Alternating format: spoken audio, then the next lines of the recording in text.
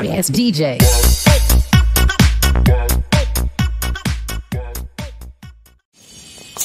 Halo guys, selamat siang. Kembali lagi di channel Diko Racing. Kali ini kita mau bahas karburasi RZR harian spek kesiangan bersama Mas Marso, Pak Bauer dan Sempong. Oke Mas, Ada monggo apa mbak? Ada apa mbak? Judulnya restorasi karburasi. Oh karburasi Ah,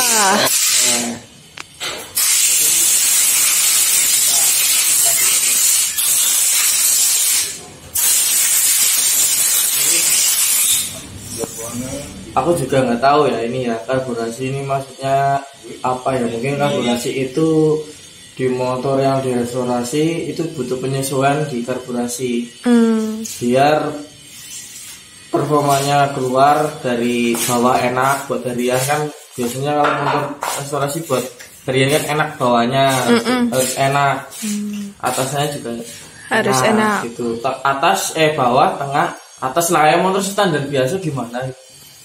Itu perlu disesuaikan karena ini motor Jangankan diri. Oh, tren teng teng ini untuk spek harian kesiangan berarti bisa buat ngebut. Gitu loh. Semut nanti penjelasannya sama Pak Bawor Oke, tentang Ki. mungkin ada tips-tips atau apa nggak tahu. Tanya sama Pak Bawor tuh Pak jalan-jalan terus lalu Pak Bawor gimana ini saya bisa menjelaskan? Saya udah muter ini. Tentang karburasi Wih, beli air soda. beli empat. Kita Rokok tanyakan ke Baru Pak Bawor. Oke, Pak Bawor, bagaimana ini tentang Oke. karburasi? Setelah semua rangkaian ini pekerjaan kita sudah bahas. Jadi enak ya. Keriwak. Semua sudah kita bahas dari kerak as, crankcase, kopling, membran, pengapian. Saya juga nggak tahu. Ini bulan ini isinya RZR, RXZ, tok mumet dasek. Oh lihat. Sementara RXZ setan nempel di sini. Oke. Oke. Terus satu lagi itu RXZ apa maning bu? ada memut Erik set nih guys. Jadi lagi banyak RXZ melanda merajalela jadi kasih di Racing. Hello, Mr. Malaysia Ahmad Dahlan, Maswi Organs Kons RXZ. Erik Kami Tiao Angel. Tapi dia menang ini. Karburasi. Oke. Sini lihat motornya, jangan backlightnya. Oke. Gue keren kan RZR tuh. Nih guys, motornya. dilap ini hilang-hilang ini. Di kamera nggak bagus. Itu mesin yang kemarin kita restore. Ya. Kebetulan motor ini kondisinya masih oke banget untuk masalah kelistrikan dan pengapian. Knalpot juga ori meskipun orinya penyok-penyok tapi ya ori ya kan? Iya, Ini ori nih. ori. Ya nih. Yamaha 3BS ya, orisinil. Eh, masih orisinil. Terus setelah mesin sudah dirakit, sudah di porting, headnya disesuaikan sudah, semuanya naik ke rangka. Kemudian persiapan untuk melakukan pekerjaan yaitu tes nyala. Baru tes nyala. Belum setting karbu belum apa itu ya. Pasang pasang pasang. Gang ngurung hanya gue. Maksudnya gimana Oke. Setelah mesin dipasang, apa saja yang harus dipasang dan disetel dan dipastikan bagus sebelum kamu nafsu jebret turun dan tes. Pastikan oleh samping sepasang semua semua ya standar. Nah, diwarai carane. Ah. Oh, dikon pastikon. Bagaimana nih mas? Ini awalnya kan ini lepas, ini bahas ini lihat sini. Mm-mm. Ini kan awalnya lepas. Mm-mm. Ada cepet dong sayangku. Ya. Ini awalnya lepas. Masukkan dulu semuanya terus dibocorin. Nih nih nih nih. Apa dibocorin? Karena lo Mulanya apa? karena ini tadinya dilepas kan otomatis banyak angin. Mm-mm. Biar nggak ada angin di sini loh, biar lancar loh. Kalau ada gelembung-gelembungnya nanti lagi jalan ada pupuk ini nggak ada olinya nanti kering pelan bahaya. Oh Ini berarti jalannya itu harus lancar ya? harus lancar nggak ada, nggak ada udara setiap motor batak harus selalu lakukan seperti ini. Dibocorin dulu pompa pompa olinya biar sininya nggak ada apa spasi untuk udaranya. Udara. Karena oli semua pokoknya. Dibocorin dulu ya buat setiap motor kan beda-beda bocorinnya. Ini kebetulan ada motor Eric Z. Kayak ranking juga sama di sini ya ya apa di sini. Bocorin dulu ini Oke guys, nih dibocorin dulu biar jalan olinya lencong. Ini Tuh. sampai nggak ada gelembungnya tuh kan lancar tuh. Oke, kalau udah Oke. tutup.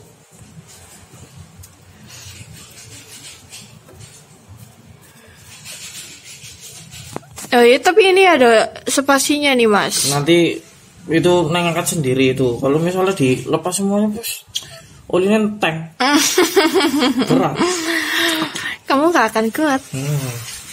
Udah, kalau udah, nanti kan ini ini karburator dipasangin semua, ini pasangin semua. Mm-mm.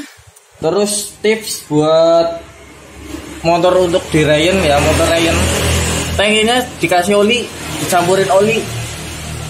Biar enggak Biar kalau semisal dari sininya nggak lancar kan ada supply dari campuran di tangki hmm, gitu. Terus kalau sama olinya dikasih oli, oli samping, karburator juga dikasih oli. Terus biar teles beneran. Jadi biar antisipasi telas itu apa mas? basah. Hmm. Antisipasi sayarnya kering. Begitu. Seperti itu. Ya, kondisikan semuanya normal semuanya. Nanti baru bisa di player-player. Udah Pak Bor, udah. Ger.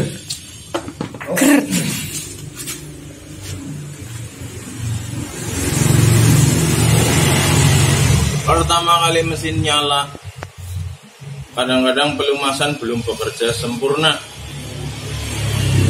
Setelah kemarin ngecek pengapian yang belum nonton videonya, nonton dulu kemarin. Terus ngecek semua membran apa segala macam sudah, nonton yang kemarin. Hari ini kita akan pasang karbunya.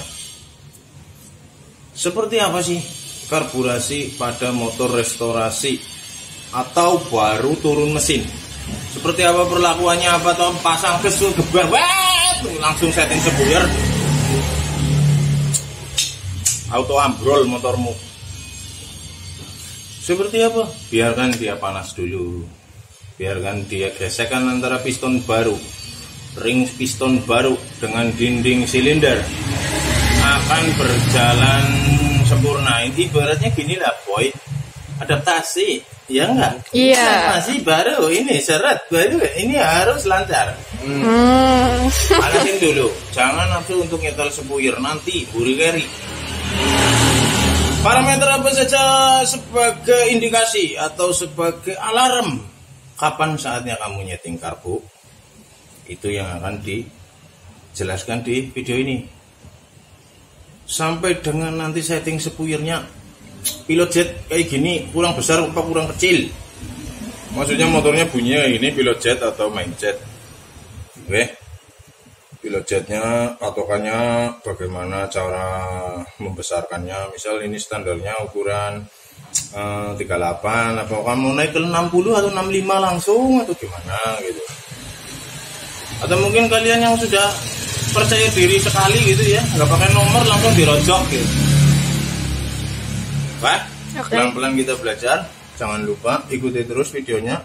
Sekarang karbu ini saya bongkar. Kebetulan Eric Set ini dibawa ke sini dikasih karburator ini. Karburator apakah ini? Jelasin. Ini Kehin PWK ya. Nomornya berapa nomor Pak? Ada yang bu, pokoknya Nggak tahu. PWK. PWK. Nggak Ini, tahu ini. asli, nggak tahu palsu. Bodoh amat. Oke. Kita Masalah asli atau palsu nanti dijelaskan di video saya selanjutnya gimana cara kalian mengenali karbu ini bagus atau tidak dan jika kalian beli yang KW terus terlalu bosok apa yang harus disetting nanti ada videonya tenang aja jalan kita masih panjang ya gembok ya lagu ini dewa ya. Baik dibongkar dulu maksud ini karbu PWK 28 seperti apa dalamannya kita cek dulu sebelum kita pasang di motor menggunakan spuyur berapa sih ini kamu tahu? Tahu Pak. Nah, oke kita cari tahu dulu. Ya wis. Berangkat. Bongkar dari belakang dulu. Langsung dibongkar guys. Semua harus tahu dulu. Gak usah ngasih tahu cara bongkarnya ini bukan anu tutorial anu Beres. mana yang bongkar dari belakang, bongkar dari Sorry, sorry, sorry, sorry. Bongkar dari inti. Pokoknya dilihat itu spuyurnya ukuran berapa.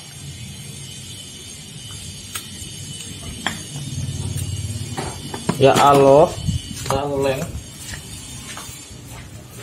Oke, ini ada filternya, mereknya Verok. Nah, ini filter bagus ini, merek lumayan bagus ini. Ini bukan filter variasi, ini memang Verok. filter beneran.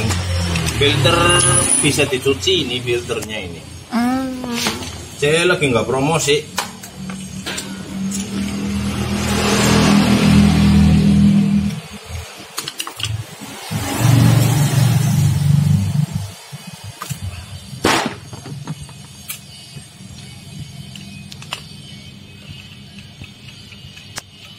Tahu ini masnya beli karbu bekas atau atau baru yang orang ngerti. Jadi kita perlu tahu dulu kalian juga harus ngecek dulu ya. Jadi kalau kalau nanti begitu dinyalakan dulu itu oh, pilotnya kurang gede. Tadi saya sudah lihat pilot yang dipasang nomornya. Di sini nomornya.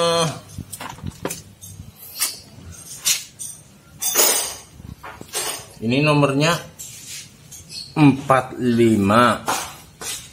tapi iya 45 pilot jet 45 Itu 38. nozzle yang 8 lubang ini ini mbak ini mbak ini mbak fokusin 4 Empat. Kelihatan. Ya. ah, ah. baliknya 4 8 Ah, ah. lubang nozzle ini macam-macam ada yang 8 ada yang 18 ada yang 25 ada yang 30 apa bedanya bukan berarti yang lubangnya banyak racing intinya semuanya cari yang pas Hmm.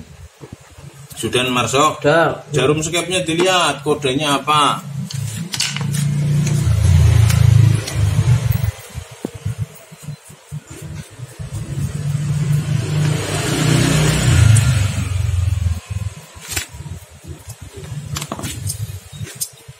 Aja menang baik. Ngomong. Kebetulan kan nanti. Oh, tunggu tuh, ya. Kodenya Pak. Ya. Jalan kita masih panjang. Lu, ya, Pak.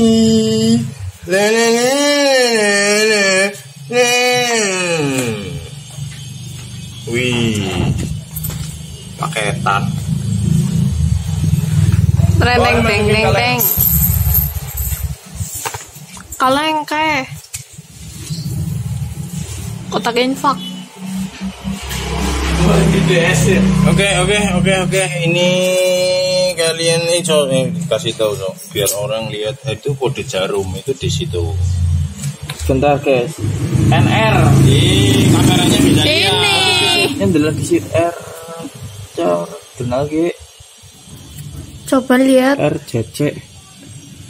Nih, nih, nih, nih, nih, nih. Kelihatan nggak? Bentar. Pak? Ini aku yang ini. Ih guys, N R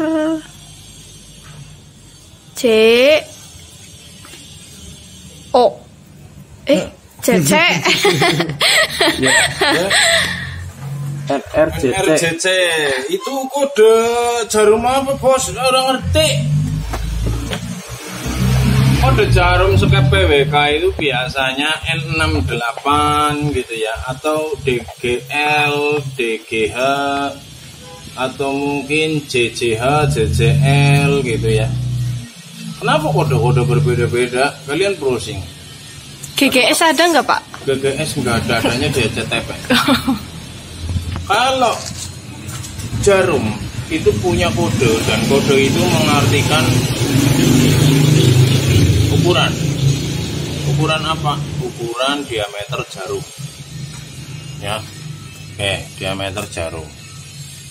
Diameter apa maksudnya? Di atas di tengah di tirusnya di ujungnya. Itu kayak gitu. Hmm. kalau setelan karbumu ngobok-ngobok padahal kamu pakai spuyer atau pakai pemain jet kecil, mungkin antara jarum dengan head nozzle nggak tahu yang head nozzle ya bukan ini. Oh iya iya iya. Ini ini ini ini. Copot orang nggak lihat ah.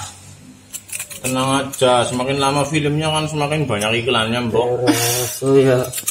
Jangan di skip ya Yang guys. penting kan kamu nge-share apa jenengannya pengetahuan bukan orang mutu ini mutu temenan oke jarum adalah sepasang dengan head nozzle di mana head nozzle pun memiliki diameter lubang Mm-mm.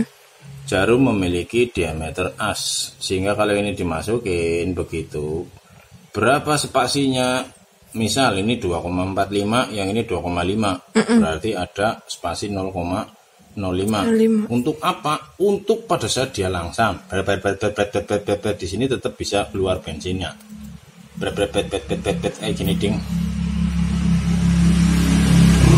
Ding nih paham jika ini spasinya terlalu sempit terhadap head nozzle maka seolah-olah dari lubang tengah ini pada saat RPM rendah tidak menyuplai bensin. Bensin full tersuplai oleh pilot jet. Jadi kalau ininya rapat, Iya. pasti pilot jetnya minta gede. Kalau ininya longgar, pilot jetnya minta kecil. Itu aja gampangnya. Untuk lebih detailnya nanti nonton di Diko Squad ya. Nanti saya akan bahas tuntas tentang head nozzle. Oh iya, kalau kalian suka yang pengen bikin motor yang kalau empat tak den. kuncinya cuma dari head nozzle. Saya juga belum kasih tahu Marso sebenarnya. Nah, saya nggak pernah udik-udik ini buat apa. Kalau dua tak yang kepengen atasnya nangis, dari sini pun bisa. Dari jarum bisa. Kemarin saya udah pernah bahas waktu live, gimana cara bikinnya. Jarumnya panjang, shoot, atasnya lancip.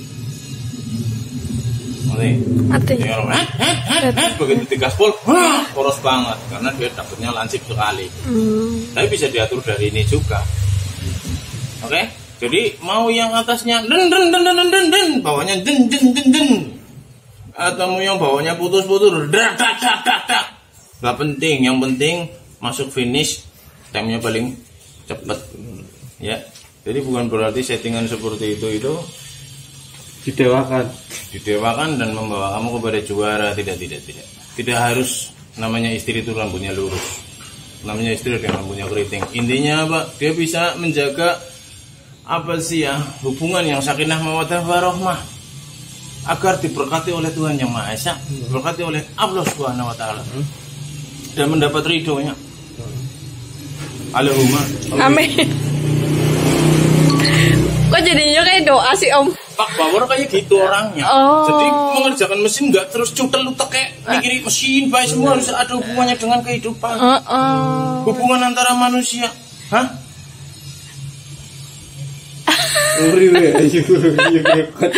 Hubungan antara sesama manusia dan hubungan antara manusia dengan Tuhannya.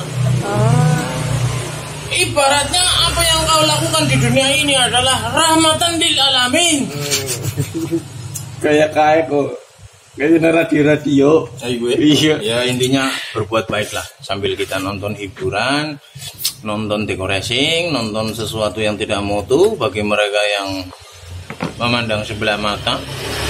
Bagi mereka yang membuka matanya lebar-lebar pasti akan menemukan apa yang mereka cari di Rico Racing. Ya nggak? Iya, ada betul. yang ganteng banget, ada yang jelek banget ini.